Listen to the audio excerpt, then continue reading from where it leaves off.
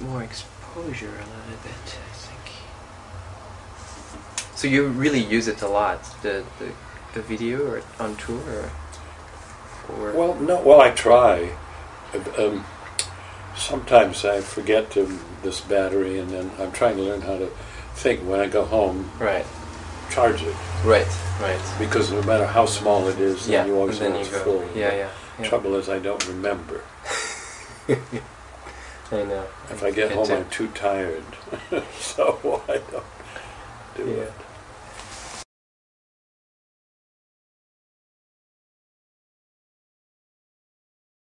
At some point, I had heard like MC Richards talk about um, you and John Cage had having some kind of mission, or um, uh, some kind of you know angels have with a mission or something like that. This is You remember? the Yes, where we- she was the wonderful hat. Yeah. She's a wonderful person.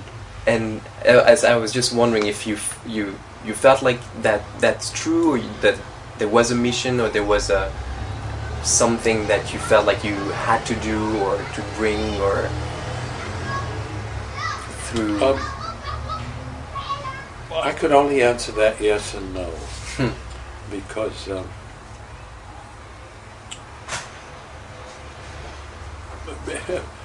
because um, when we started to work together and John proposed that we work right. this way, it was uh, it was difficult, but it was also interesting Right. because it produced uh, uh, situations which I wasn't at all familiar familiar with. Of course, Right. having always uh, previously worked uh, in a more conventional way, and um, I don't I don't think it was. I didn't think it was a mission. Right, okay, okay. I, I, I just thought it was interesting. Right. And I'd rather do this or explore it Right. than not do it. Right. So we, we just continued. And it, it grew more, in, in many ways, more complex later on, Right. of course. But the beginning was uh, complex, Uh huh. was, was difficult. It was like, um, I think anything that's very new, Right. you don't know. That's right. You, you, you don't you don't have any real. Um, I mean, you're f- foraging around in unknown ground Right. or whatever, Yeah. and then all these strange things come up, Right. and you can be put out by that and think, and, and it's also difficult. Right. Or on the other, you, you can think, well, it's so interesting, I'll just continue. But the interest maybe was because you were maybe did you feel like you were opening doors in some ways? Something that was not done around you or ever before? Was that maybe the part of the challenge and the interest of it or? I think so. Uh, I mean, not the fact that other people didn't do it. okay. But it, it, it was so odd. Uh-huh to think that way Huh. and work that way, and yet it was fascinating. right And then um, we once um, w- were on a short tour together, and we gave a, de- a lecture demonstration where um, um, John said we we didn't want to do a, a lecture and that kind of conventional thing. So he suggested we make a short piece, Uh-huh. a short right thing, quite short, and, show the way we work. right And um, so we explained the structure that we would work each one separately. To each other No, or we explained it to, to the, the audience. audience. yes, Fantastic. so that they, even though they wouldn't know what it was, they would Right. realize there was something going right on. right right right. And there was a piano, and he started to work there, and I went to the space. It was all visible. They were right all so you worked the process was Oh, yes. visible Oh, we just did it, and I explained we we had planned a three-minute sequence Yeah. divided in very simply so that they could get it into one minute, one minute, and one minute for Okay, structural right. purposes. so the process wouldn't be too long either And then when uh, when uh, we started, I, I explained that we probably wouldn't get it done. Right, We would just uh-huh. So we would show what we had done, say after a minute, Right. and he would play what he had done, and I Uh-huh, would do what uh-huh. I did, and uh, uh, they they applauded like a, a, as though you'd made a tennis match, you know, you'd made some point. And uh, we did finish the three minutes, Uh-huh. and and we did them. I think we did them twice. Did it twice Uh-huh. So that so they would see th- Right. something of the way. And uh, uh, Louis Horst was there, and who was uh, who had been Graham's um, Martha Graham's um, uh, musical director, uh-huh. and um, he came up to me afterward and he said. Uh, that was interesting. Martha would never have done it.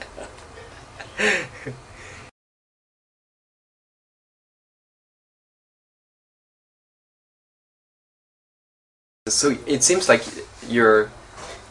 It was not about op- only about opening door, but really how you, what kind of doors you were opening, what the, Yeah. what kind What- of work you were Well, doing. Because you had to find the doors. That's right. Uh-huh. it all was so new. Right. Um, so, uh, and um, since I didn't have the music hmm to um, support me in the sense of, Right. Oh, here's I do this when that Right. particular sound comes, Right. um, um, I had to um, uh, go keep going back Right. even though in that particular circumstance it was simple, but as with all of the uh, of the dances done that have been done that way, I I would go back Yeah. and go through it, so it would begin to become part of me Right. because I didn't have the music to structure it or outline it Right. or in some way help remember it. Which was the the usual way. The Yes, sort of- yes. Yeah. And um, uh, there was another time with David Tudor. We were at Black Mountain College then, and he um, um, he was giving a program of his, of his music, of music, of, of music by John and Morty Feldman, and Right. so he was very busy rehearsing th- them because certainly at that time those pieces were very difficult, Difficult. to play. hmm So I didn't ask him to come and uh, um, play with us, Uh-huh. but w- at one point I was working on a solo, Right. which was um, really complex. It may not seem that way now, but it was then because Right. it was uh, it was called Untitled Solo. I couldn't think of anything else, and, and it was. Um, where the body had been given certain movements and the arms others and the head and the, and the legs Right. and then by chance operations uh, as to which of these you put together and use. Right. And it was really Right. complex, Right. hard simply to remember like even 10 seconds. So I pursued a way, Uh-huh, working by myself. And uh, finally I asked David to come. There was music that was to be a piece of Christian Wolff Uh-huh. which was to be played with it. It wasn't that I, I, I, I knew I knew the length of piece Right. in working, so I wasn't making it to the music. Right. But I wondered if that might help me. Uh-huh. So I asked David to come, and he very generously did came, and then he would sit at the piano and play it, and I would struggle Right. out and do what I thought I Uh-huh. knew. Uh-huh. And I would do about 10 seconds and stop. David would stop and he'd sit there and then wait and then I'd get up and do again. I'd get a little further, but, Uh-huh. but I wasn't getting at all Very laborious. all well. Yeah. No. Finally, um, David, uh, we did it once more and I sat down in despair. I thought, oh, it really... He came around and looked at me and Uh-huh. he said, well, this is clearly impossible, but we're going right ahead and do it anyway. So we did. So you did. yeah. Yes, yes. So the notion of impossibility that was not around really. That I mean. No, because um, the whole idea was impossible. Right. So if you tried it at all, Right. and something happened a little bit, Right. was well, that was possible. Exactly. It was like a little sparkle or something. Yeah, or- that's right. Yeah, Yeah. yeah. And that was, I guess, your interest. Like that little sparkle was worth all the struggle to through it, or something Uh, like that, maybe. Well, and, and, and of course, it, as one explored it, as I explored it, it grew, it grew more difficult, Right. but it also grew more interesting, the whole uh, process of working this way. right.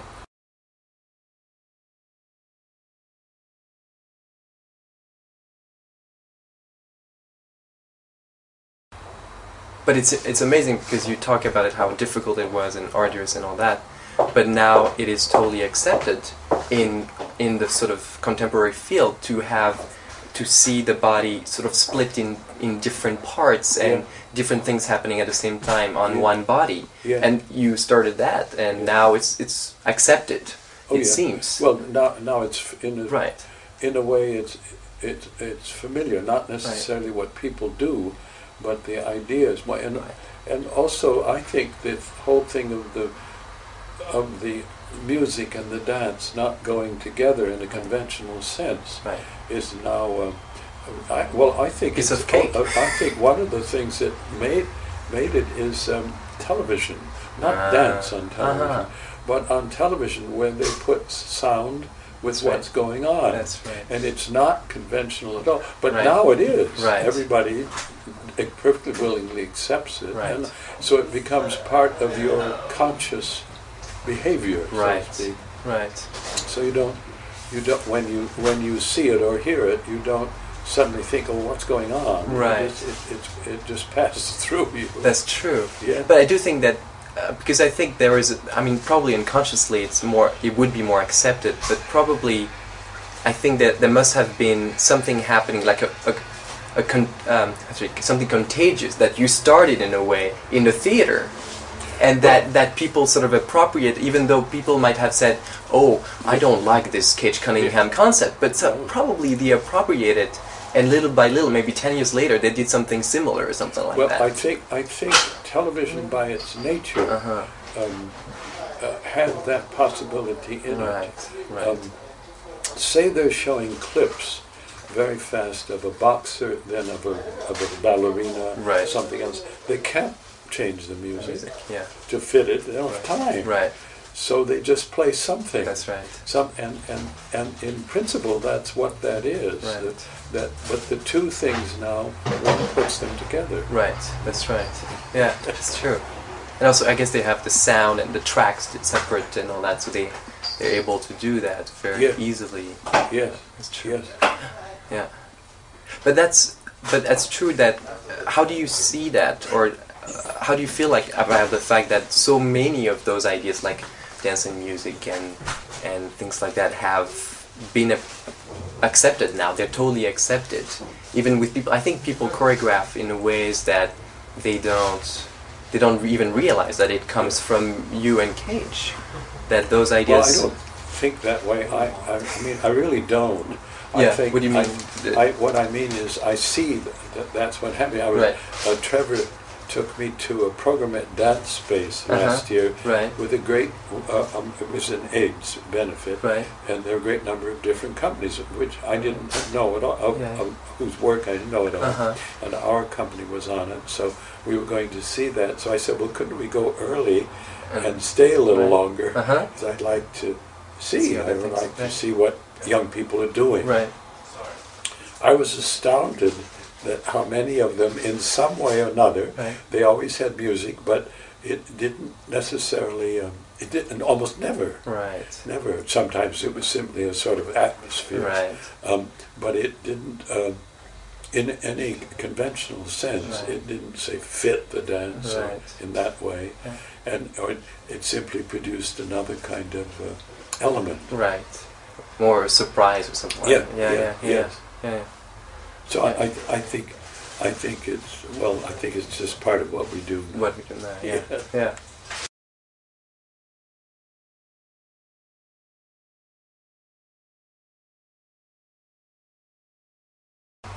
Do you um uh, I think we have maybe two minutes Okay. Before the show.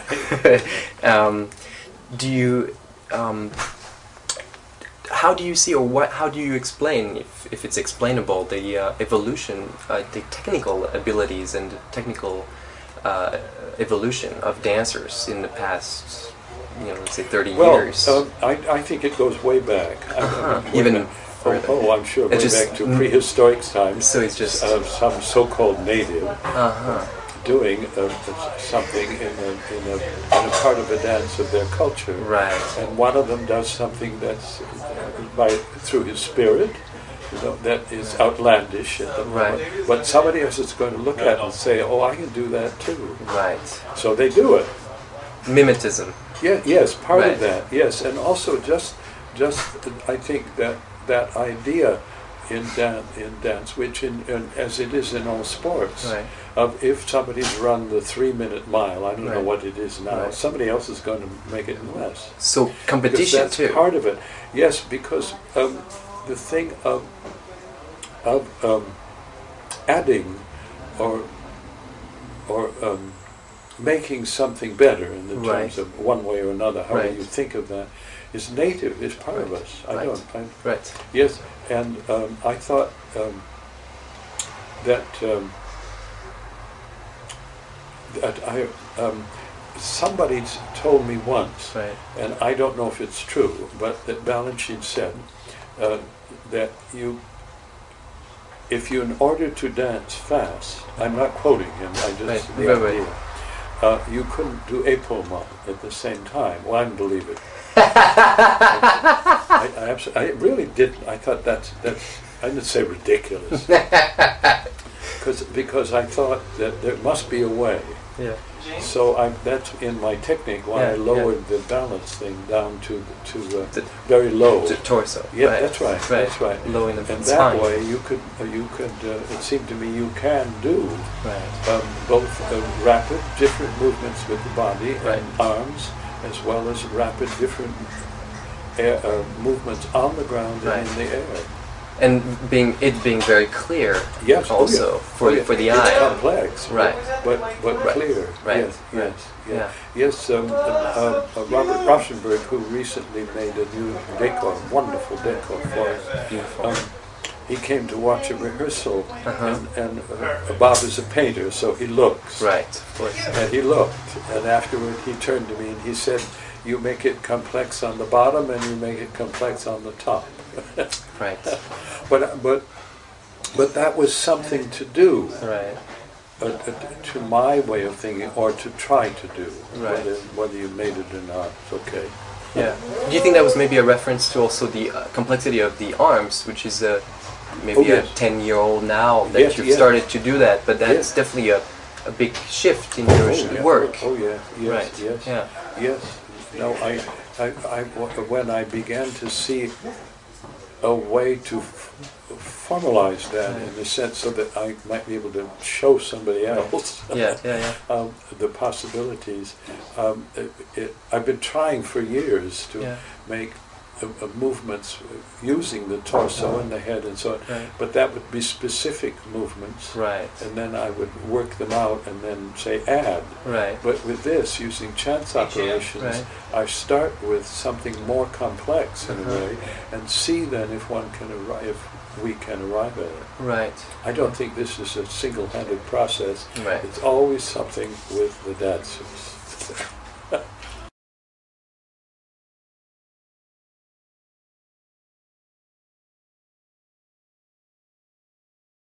do you think that's important the sort of legacy that you want to leave or you know like the idea of a repertory company and all that how do you see that do you think that's important sort of like how is the fact that your work survives you is that something important is that something that you really care about or is something that Well, I you think hold if the work is interesting and, and people might like Yeah. to see it, I would hope they would. Um, and I think what I think it's very difficult right to um, plan on that. Right, so, right. so, but but I we are attempting to do Right. something about it Yeah. as much as we can do. right Um, I, I think that um, I think eventually, not immediately, but eventually, um, um, the um, the computer, you know, like life forms, right computer work with dance, uh, with movement of any kind, Right. uh, will facilitate this in a, in a way. Uh-huh. And not, not immediately, but, Right. but I, I, you know, I'm convinced that within some time, whenever, Right. you'll be able to sit down and, in a sense, type out a dance Uh-huh. and see it both, and you, you see you could have it then in in that skeleton form, Right. like a, a music notation, Right. and then you could also have, if it had been performed, a tape of the performance right next to it. So Right. you, you Oh, yeah. so you would have the so like say you have like a, a musician might have a a um, a score Right. and also a recording or a tape Yeah. something. Yeah, yeah. I'm sure that not immediately Right. because movement is so complex Right. Exactly. that um, movement packs information. People don't think of it this way, of course, except dancers, I think. But movement packs information right. in a way. If I should, you know, do this with Right, my hand, right. you can immediately see it. Right. Now describe it. How long does it take? Exactly. Yeah, yes. Hours, days. Yes, in detail. That's yes. right. That's why a, a dance can be three minutes, but a play has to be three hours. That's right. So quick, so immediate. The Yeah, informations yeah. are so immediate. Oh yes. see what you mean. Yes.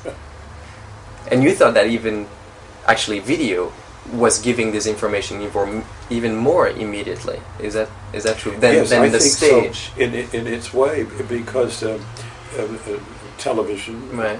um, you um, you catch on to what's going on very fast. And say a repetition, which Right. on the stage would seem proper that it be done six times Right. or whatever, Uh-huh. or whatever. But on the television, that they, you start to repeat and they change the channel, Right. and they can get back. That's right. Before you finish. That's right. and do you think the proximity, the fact that also you know maybe close-ups, or the Oh, fact that that also Oh, influences oh. that because it's just Oh, I guess yeah. closer to the eye in that sense. Oh, oh, yeah. I think when Griffith in those early films Uh-huh. devised uh, uh, um, close-ups, Right. it absolutely radically changed Changed. our whole idea of how Right. to look, Right. of how we could look. Right. But it wasn't. Uh, he didn't take something else away. He added Yeah. to the whole scene, certainly yeah. with the movies. Yeah. Yeah. Great. Well, thank you. I, I You're welcome. That's fascinating. I, I, I don't know whether I got your head or. That's good. Yeah. Think at some point you- I, I had just your hair and some of your shoulder. Well, That's all- well, that's that's all like probably